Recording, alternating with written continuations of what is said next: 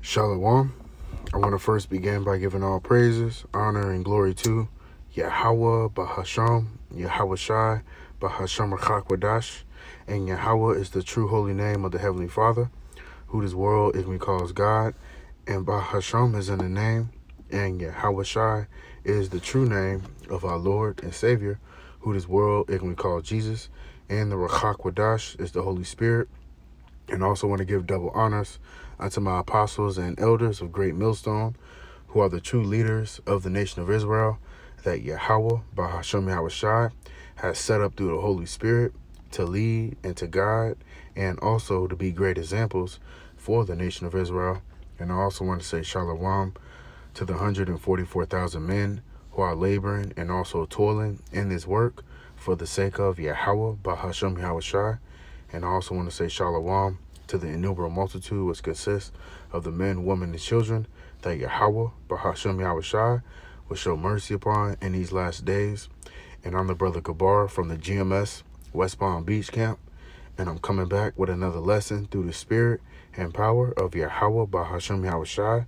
And Lord willing, the elect of the nation of Israel is edified. All right. And this lesson, Lord willing, is going to be entitled for this is the love of God. All right.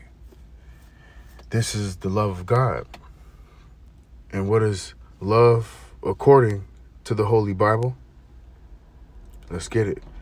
First John 5 and 3. For this is the love of the Most High, that we keep his commandments. And you got these Christian churches all right, who tells you uh, the laws, statutes, and commandments has been done away with. And really, what the Christian churches are telling you, that you can do as thou wilt. And that's really the spirit of Satan. All right. And the Lord says in First Corinthians 14 and verse 40, let all things be done decently and in order so there's order when it comes to serving Yahweh Bahasham Yahweh Shai. All right. The Lord has set up uh, apostles and elders and uh, heads of the camps. All right. You're going to have men over you. Some of the commandments that we're supposed to keep. We're not supposed to be shaving our beards. We're not supposed to be getting lineups. Dreadlocks is unacceptable. Having long hair as a man is unacceptable. But when you go to these Christian churches, what they say, you can come as who you are. And these Christian churches are leading our people to astray. Because that's all your pastor cares about is your money, making his pockets fat. And that's why the Lord tells us to stay away from these churches. Acts 7 and 48. Howbeit, the Most High dwelleth not in temples made with hands, as saith the prophets. Right? And the Lord says that he speak through his servants, the prophets. Amos 3 and 7. Luke chapter 1, and I believe it's 69 or 70. And that's how the Lord always dealt by way of his prophets. Think about in the time of Noah, all right? The Lord was de dealing directly with, with, with Noah. All right, you think about Moses, you think about Joseph, all right? Peter, the uh, Apostle Paul, so the Most High is dwelling not in these temples made with hands. And the true prophets of Yahweh Shemal Shai is going to be on the street corners. All right, because that's a commandment from the Lord. Isaiah 30 and 20. And though the Lord give you the bread of adversity and the water of affliction, yet shall not thy teachers be removed into a corner anymore. right, in that corner speaking about these church houses. Because we're supposed to declare this word openly. Because when you in these Christian churches, only the Baptists or only Seven Day Adventists can hear that can can can hear. All right, but we out on the highways and byways, and everybody gonna hear this word, and that's how the Lord is marking people for judgment. All right, Scripture says, "Mark those who cause division." So when we out on the highways and byways, Christians gonna hear this, gonna, gonna hear this gospel. Atheists, Baptists, Buddhists, Muslims, all denominations gonna hear this truth. And it says, but thy eyes shall see thy teachers, right? You know, in your eyes are seeing your teachers, man. Beginning with our apostles and elders. Our apostles been pushing forth this truth for 30 plus years. The bishops and elders. All right, and brothers all across the world. You got brothers in the UK. You got brothers in Puerto Rico. You got brothers in Hawaii. You got brothers in Charlotte, in California, in Chicago, in, in New York, in Texas, in Florida, St. Louis. You know, we can keep going down the line in Arizona. Right? And hey, the Lord says, hey, uh, uh, this word shall go out throughout the four corners of the earth, and then the end shall come. And you got the prophets on the YouTube blowing up the YouTube, man. All right, day and night.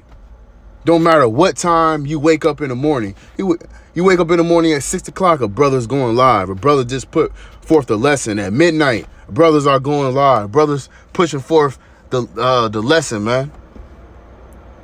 All right, and we in the time of you know hastening and coming the day of the Lord. The Lord is turning things up. All right, the left hand side is going hard, and guess what? The right hand side is going even harder.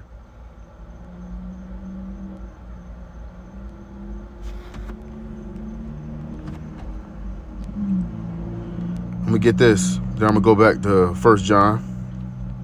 This is Matthew 5 in verse 16. I'm gonna start at let your light so shine before men that they may see your good works and glorify your Father which is in heaven right? And we letting our light shine, shine before men.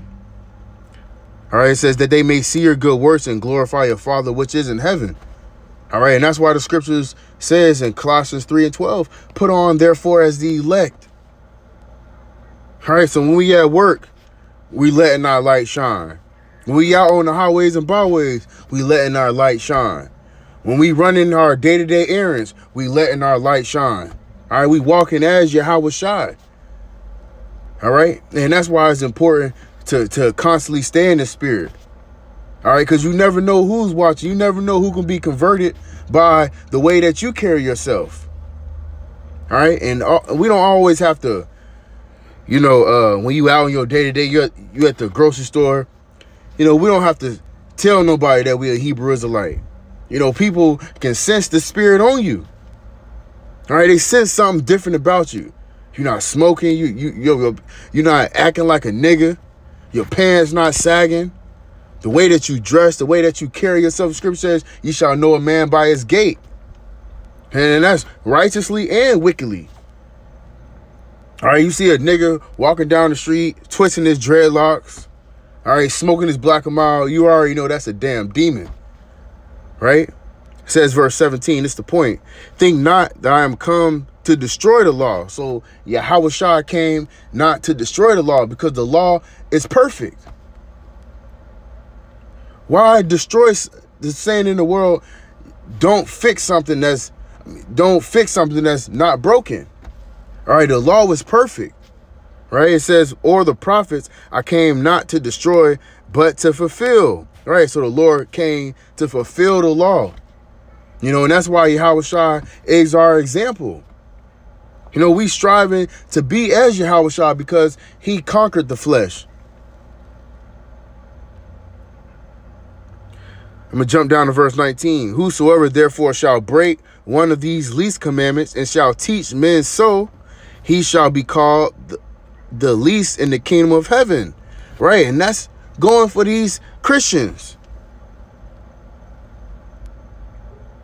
All right, and even these other Israelite camps. Cause they they preach about the law, the law, the law, but you got men in their congregation with long ass hair, got dreadlocks, which is a heathen custom. The scripture says, uh, envy not thy oppressor and choose none of his ways. That's a commandment. So we ain't supposed to envy our oppressor. All right? Getting lineups goes back into the Egyptians, okay, which are the so-called Africans, which is, which is our enemy. All right, the Christian church says, "Come as you are." All right, they they they telling their congregation, "Oh, it's okay to be a homosexual. The God loves you just the way that you are." All right, the scriptures uh is is completely uh, speaks completely against that. This is Isaiah 58 and 1. Cry aloud, spare not. So the true prophets of Yahweh Shemal Shai, they're going to cry aloud. All right, niggas be like, you know, calm down. You don't have to raise your voice. No, the, the Lord says cry aloud. Because Jake, two-thirds of our people are wicked. The scriptures call our people uh, a stiff-neck, rebellious. Right? It says spare not. So we not here to spare your, your damn feelings. When Yahweh Shah come, he ain't sparing. The Lord said he gonna slay utterly old, young, maids, little children. It says, lift up thy voice like a trumpet. And the trumpet is a loud playing instrument. You can hear a trumpet playing from miles away. It says, and show my people their transgression in the house of Jacob their sins. So that's what the true prophets are doing. All right. But people say, oh, you can't judge me in that Tupac spirit. Hey, Tupac is a damn demon and is uh uh evidence came out that that that that that nigga was a was a homosexual.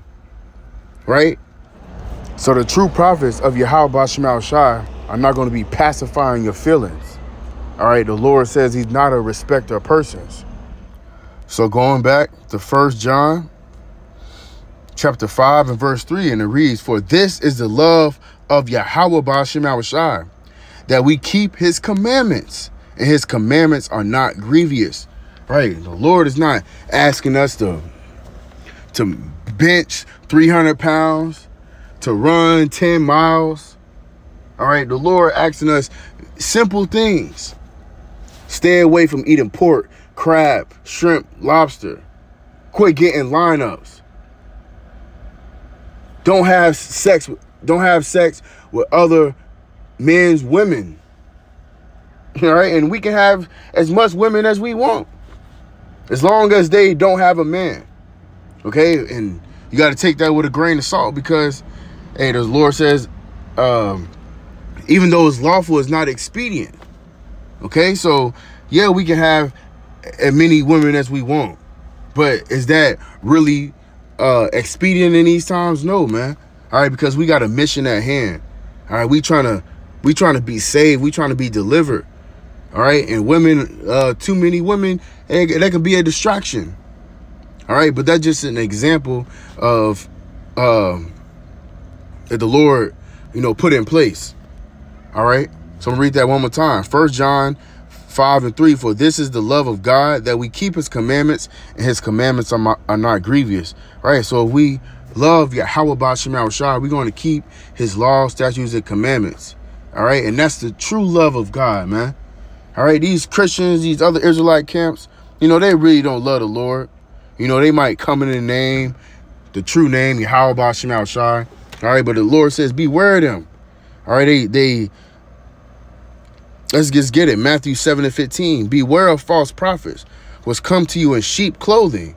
Right. They come with the fancy garments all right, they be wearing a, they be in unison. All right, wearing all purple. They got the phylacteries. All right, they they to, to, in, in a carnal eye. All right, it looks like the Lord is dealing with them. All right, but the Lord says, judge not according to the appearance, but judge righteous judgment. So just because a, a camp got a nice garments on, all right, just because your Christian pastor got the nice tuxedo suit on, all right, he pulling up in the Range Rover. It don't mean that the Lord is dealing with them. All right, the Lord really said he deal with the meek and the lowly. All right, Yahweh Shai, but he came uh, on a donkey, you know? And it says, but inwardly they are ravening wolves. right? So these people inwardly, they not right. All right, and that's why you gotta judge according to the spirit, not according to what a man has. And that's what this world do. All right, you think about Oprah Winfrey, LeBron James, Michael Jordans. This is what the world um, looks up to. All right, but this Lord says the wisdom of this world is foolishness with the Most High. All right, hey, and that time gonna come in the kingdom where we're gonna get the flex. We're gonna have the nice garments on. You know, we're gonna have the the the uh gonna have the mansions and things like that. Hey, but th that's not the time that we in, man. All right. So I just wanted to bring that lesson out through the spirit. All right, just short, quick, straight to the point. Lord willing, this lesson was edifying to the hopeful elect. And I'm going to close out by giving all praises, honor, and glory to Yahweh, Bahasham, Yahweh Bahasham Kakwadash, double honors to my apostles and elders of great millstone and peace and blessings unto the hopeful elect, 144,000 men that are laboring and toiling in his work for the sake of Yahweh, Bahasham, Yahweh Shai. And I also want to say shalom to the innumerable multitude which consists of the men, women, and children that Yahweh Ba'ashem Shai will show mercy upon in these last days. The Wadi Ba'ashem Shai for giving me the spirit of truth. The Wadi Ba'ashem Shai for giving me the Holy Spirit to make this lesson. Lord willing, until the next lesson, I'm going to say shalom and a ball, ball. DTA.